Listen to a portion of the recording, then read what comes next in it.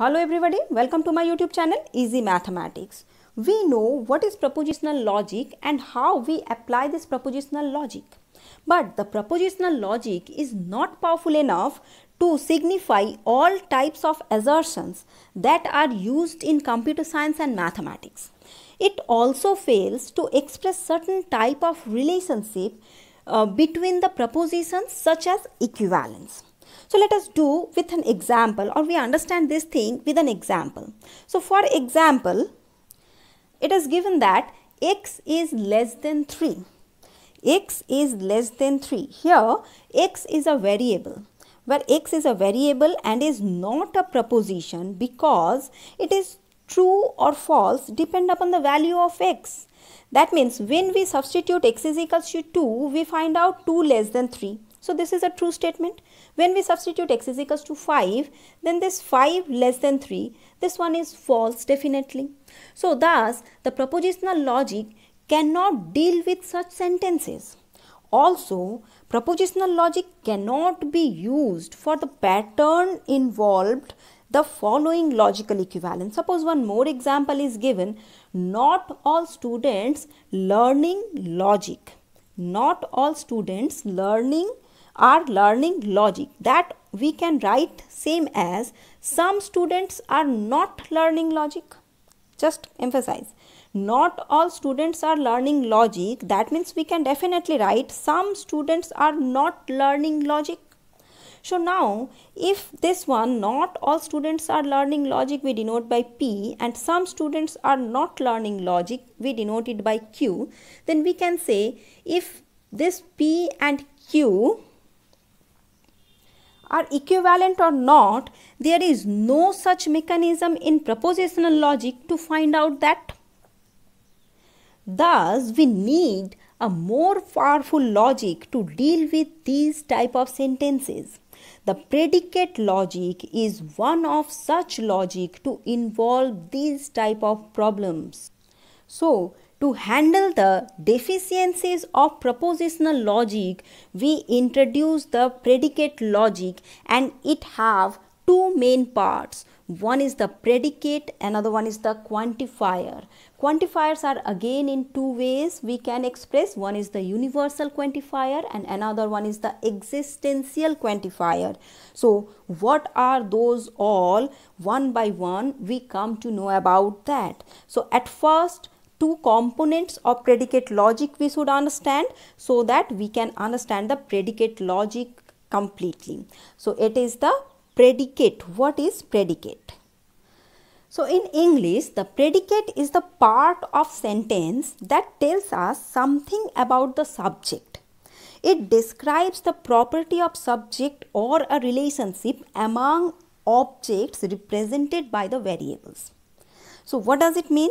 So if we uh, consider the example that x is an integer, so it has the two important parts. One is the variable part that is x and another one is, is, uh, is an integer. Another one is the is an integer. So this is an integer is called the predicate which refers the property of the subject that means x and it is denoted by the symbol px.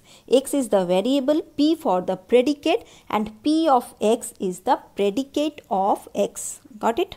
So this one is the predicate. Predicate means nothing but the uh, property which refers the subject.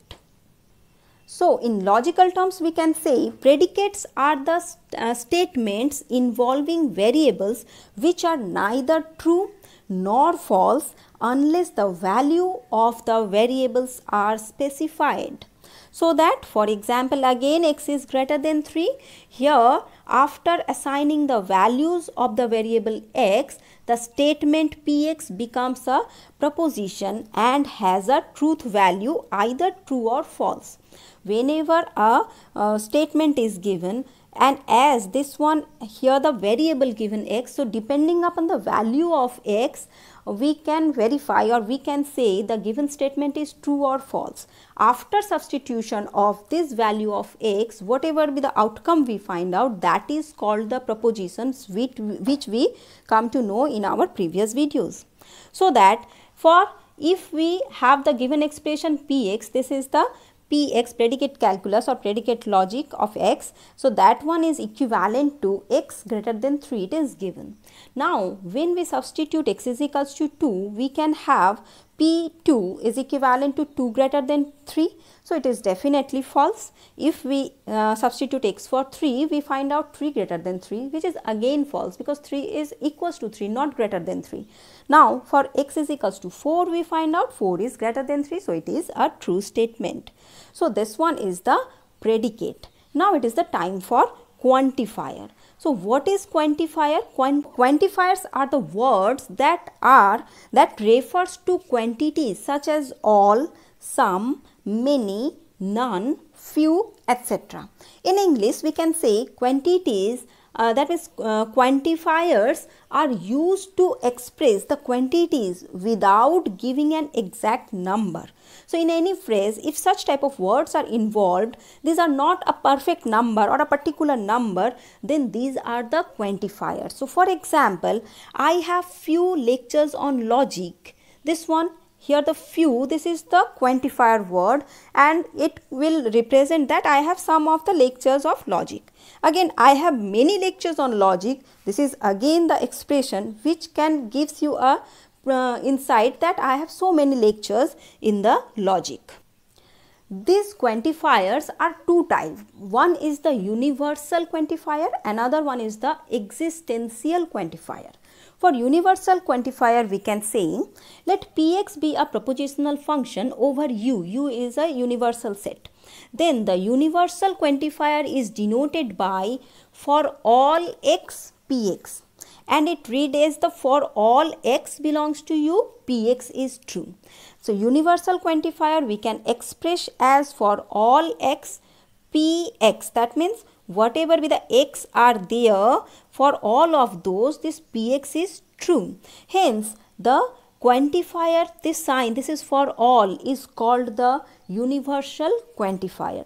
Likewise for the definition we can say the existential quantifier which is same as let px be a propositional function over u u is the universal set. Then the existential quantifier is denoted by there exists this is the sign of there exists x px and it read as there exists at least one x belongs to u such that px is true. So this uh, quantifier for uh, there exist is called the existential quantifier. So let us explain it with an example. So let here three uh, predicates are given. One is px which denotes x is a four wheeler. Second one is QX which denotes X is a Swift. And third one is RX which means X is manufactured by Maruti Suzuki. So these are the three predicates are given. Now from the first one we can say that means we want to establish the statement every four wheeler is a Swift. Every four wheeler is a Swift. So that means how we can express it in terms of the quantifiers. So that now look, every four wheeler is a Swift means all the four wheelers, all the four wheelers which are that means here look px is x is a four wheeler so all the four wheelers is a swift. That means it implies qx this is a swift. So for all x px implies qx okay? Now suppose the statement you want to express there is a four wheeler manufactured by Maruti Suzuki is not a Swift. So there is a four-wheeler manufactured by Maruti Suzuki. That means not all. So there exists one X, at least one X. So where PX means it is the four-wheeler and it is manufactured by the Maruti Suzuki. That will implies it is not Swift. So not Swift. So this one is the expression. Now one more expression suppose every four wheeler that is a Swift is manufactured by Maruti Suzuki if we want to express this one.